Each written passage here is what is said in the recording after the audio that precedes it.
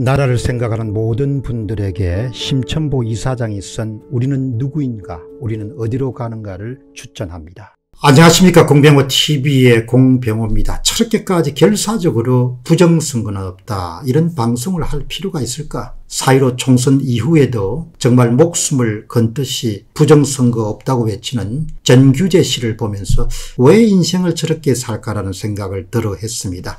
선거 정직성과 선거 무결성에 대해서 사람은 누구든지 의문을 제기할 수 있고 또 유권자의 기본권인 참정권 침해에 대한 호소는 큰 선거라는 부분의 한 부분입니다. 우리가 선거를 준비하고 그 다음에 투표하고 개표하고 당락을 발표하지만 그 가운데 마지막 끝에는 검증이 돼야 된다는 것이죠. 그럴 때마다 저는 그의 지적 자만심과 오만함 그리고 태도의 경직성에 무척 놀라움을 금할 수가 없었습니다. 그래도 그 정도에 거칠 줄 알았습니다. 6월 28일 인천 연수구월 재검표에 대해서도 정규재 씨는 입에 침을 튀길 정도로 부정선거 없다고 외칩니다. 이번에도 어김없이 단짝과 같은 정함철이란 인물과 함께 방송을 진행했습니다. 정함철이라는 인물이 누굽니까? 구글에서 정함철 실행이라는 그런 키워드를 입력하게 되면 다음 카페에 실린 제21대 국회의원 선거 원주시 갑 선거구 후보 예정자 정보 공개 자료에 정과 18범에 대한 소명 자료 서북청년당 구국 결사대장입니다. 본인이 전과 18범이라는 것을 인정했고 전과 18범에 대한 소명자료를 제출했습니다. 1973년 1월생 상지 영서대학 졸업입니다. 전과 18범에 대한 내용이 전과 기록으로 빼곡히 적혀 있습니다. 소명서에는 정함철 주장들이 장문으로 소개되어 있습니다. 이렇게 전과가 많으면 국회의원 출마가 상당히 어렵습니다. 그의 소명대로 무슨 특별한 이유가 있겠지만 사람이 살아가면서 나이 40대 말에 전과 18범까지 되는 것은 그것은 아주 예사로운 일은 아닙니다. 제가 전과 내용을 보니까 개인정보보호법 위반, 모욕죄, 모욕죄, 재물손괴죄, 상해죄, 폭로죄, 모욕죄, 협박죄 등으로 정가가 기록이 되어 있습니다. 궁금하시면 정함철 실행이라고 그렇게 구글에 그냥 키워드를 넣으면 가장 상단 1번에 아주 상세한 자료가 나와 있습니다. 정함철 씨 스스로가 만든 자료입니다. 정규재와 정함철이 공동 출연한 방송에 대해서 그들의 주장을 보다 보다 도저히 참을 수 없었던 한 분 이 dc인사이드닷컴에 4.15 총선 정규재 정함철 부정선거 사기방송과 팩트체크란 제목으로 이렇게 글을 올린 분의 글을 우리가 볼 수가 있습니다. 그 주 내용은 이렇습니다. 파이트백님이라는 분인데 사실이 아는 내용을 방송으로 내보냈기 때문이고 그런 방송을 내보낸 저희가 있다고 보기 때문에 사기방송이라는 그런 이름을 붙이지 않았나 그런 생각하게 됩니다. 그러니까 사실이 아닌 것을 그냥 실수로 내보낸 것이 아니고 분명한 그런 의도를 갖고 방송을 내보낸 것이니까 상당히 그 질이 좋지 않은 것이죠. 거짓을 의도를 갖고 벌떠지는 것이니까 파이트백님의 주장을 그대로 소개하면서 간단히 추가적인 설명을 좀 더하도록 하겠습니다. 파이트백님 주장입니다. 이틀 전에 전규재가 펜앤마이크 방송에 정함철을 초대해서 민경욱 부정선거 주장이 엉터리란 방송을 하였다. 정함철이 정규재랑 김진택에게 영향력을 끼친고 자칭 선거 전문가라고 하고 목소리를 크게 이야기하니 둘 다 넘어갔다. 이 부분에 대해서는 제가 좀 수정 의견을 내야겠습니다. 제 의견은 정함철 씨를 전규재에게 소개한 인물은 춘천의 지역구로 출마했던 미래통합당의 김진태 전 의원인 것으로 제가 알고 있습니다. 그런 여러 가지 경로를 통해서 김진태 전 의원이 정함철 씨를 정규재에게 소개했다. 김진태 의원이 전규재에게 소개한 것은 아마도 4.15 총선 이후에 억울하게 낭만 사람들 후보들에게 선거 무효 소송에 참여하라고 독려하는 그런 방송을 하는 사람들을 맞불 놓기 위해서 공격을 하기 위한 조치로 해석이 됩니다. 어쨌든 분명한 것은 정함철이 김진태 전 의원에게 감동을 준 것이 아니고 뭐 두 사람 관계는 어떤지 모르겠지만 강원도니까 뭐 알 수도 있겠죠. 그 김진태 씨가 정함철을 정규재에게 소개한 겁니다. 다음은 파이트백 씨의 주장입니다. 정함철이 직접 당일 인천 연수구월 선관위를 방문해서 확인한 사실이라면서 아래와 같이 주장했다. 오늘 오전에 정함철이 만났다는 연수구 선거관리위원회 선거계장과 통화하여 사실관계를 확인했다. 저의 이거는 방송에 나와서는 사실을 이야기해야 되지 거짓말을 하면 안 되는 것이죠. 또 실수가 아닌데 그냥 그 사실을 어떤 의도를 갖고 그런 거짓을 유통시키게 되면 그것은 그야말로 사기고 범죄에 해당하는 것이죠.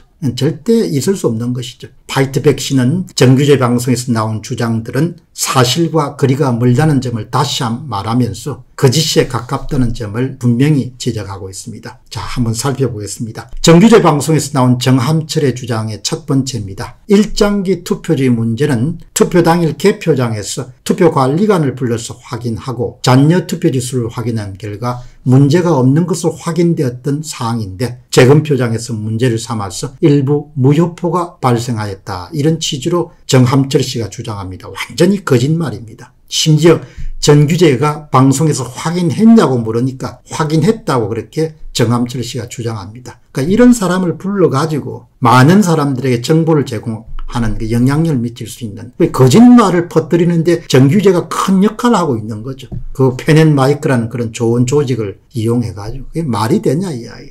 파이트백 씨가 말하는 사실은 이렇습니다. 개표장에서 투표관리관을 부른 사실은 전혀 없다. 잔여투표지 가방에서 잔여투표지 숫자를 확인한 사실도 없다. 개표장에서는 일장기 투표지에 대한 어떠한 문제 제기와 유효표로 간주하는 행위 자체가 없었다. 따라서 당연히 개표록에는 어떠한 기록도 남아있지 않다. 저의 이거는 거짓을 버젓이 사실로 포장해서 방송에서 주장하는 것은 범죄 행위에 해당하는 것이죠. 이런 행동에 익숙한 사람은 이런 행동에 아주 익숙한 그런 사람을 전문가로 포장해서 자신의 방송에 초청해서 수없이 많은 바른 기회를 제공하는 전규제도 정상인이 취할 테너는 절대 아니다. 이 점을 저는 분명히 지적하고 싶습니다. 이것은 사회로 부정선거를 방해하는 사람들을 음해하고 그런 노력을 방해하려는 악한 의도로밖에 해석할 수가 없습니다. 왜 그렇게 그렇게 고집불통을 부리냐 이 이야기. 사이로 총선 이후에는 그래도 정부가 좀 덜해 있었으니까 그렇다고 치더라도 6월 28일 날 재검표 이후까지 나서가지고 그렇게 동대방대 그냥 외치고 다니면 남들이 뭐라고 생각하겠냐 이야.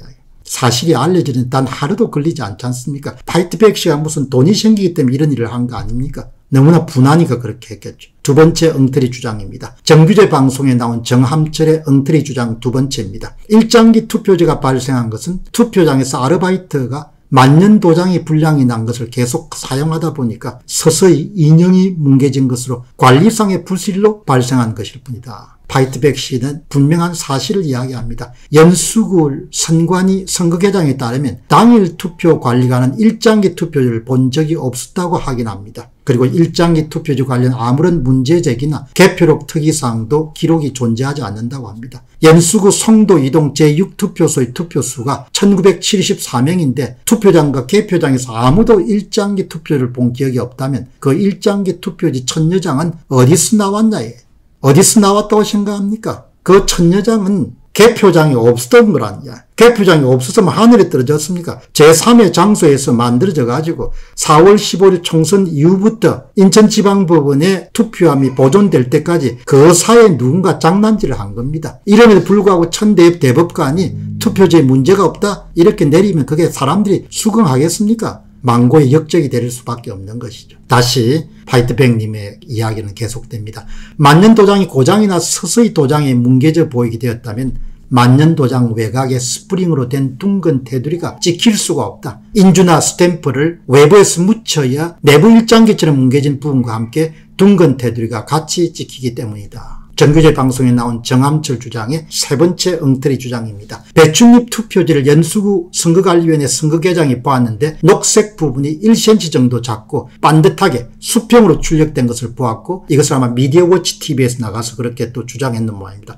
어떠한 글자나 도장도 없었다. 그러니까 정암철이라는 인물이 미디어워치도 가서 이야기하고 조갑제 TV도 같이 이야기하고 정규재 TV도 펜앤마이크도 가서 이야기하고 이게 돌아가면서 세상을 진짜 제가 볼때 혼탁 혼탁하게 하는 것이죠. 그렇게 혼탁하게 하는 그런 잘못된 그런 주장을 왜 유튜브 채널에서 그렇게 소개를 해야 되냐 이야기죠. 파이트백 씨가 말하는 팩트 사실은 이렇습니다. 연수구 선거관리위원회 선거계장은 1cm라는 이야기를 한 적이 없다. 기억이 전혀 나지 않는다. 수평이라는 얘기도 하지 않았다. 문제가 된다면 그분이 책임을 져야 된다. 수평인지 기울어진지 기억이 잘 안 난다. 도장이나 글자 부분이 있었는데 말할 수 없고 녹색 부분만 기억이 난다. 선거관리위원회 개장도 거짓말을 하고 있다는 생각이 듭니다. 녹색 부분만 기억난다면 그럼 사전투표용지를 받은 다음에 아무런 항의도 하지 않고 기표도장을 찍은 유권자는 아무도 없을 것이기 때문입니다. 파이트백 씨의 결론은 이렇습니다. 일장기 투표지 천여 장을 투표장에서도 개표장에서도 아무도 봤다는 사람이나 기록이 없다는 사실을 재검표장에 참가했던 연수구 선거관리위원회 선거개장에게서 직접 들었다. 정리하겠습니다. 정규전은 왜 부정선거가 없다는 것에 목을 매는 것일까? 정규전은 왜 뻔한 거짓말을 세상에 확산시키는데 그 저희가 무엇인가 도무지 이해할 수가 없습니다. 정말 스스로 자신의 완고함에 부끄러움을 느껴야 되고 그런 잘못된 정보를 세상에 유통시키는 것이 사악한 짓임을 스스로가 자각을 해야 되는 것이죠. 나이 값을 좀 하기 바랍니다. 공병호 TV의 공병호였습니다. 감사합니다.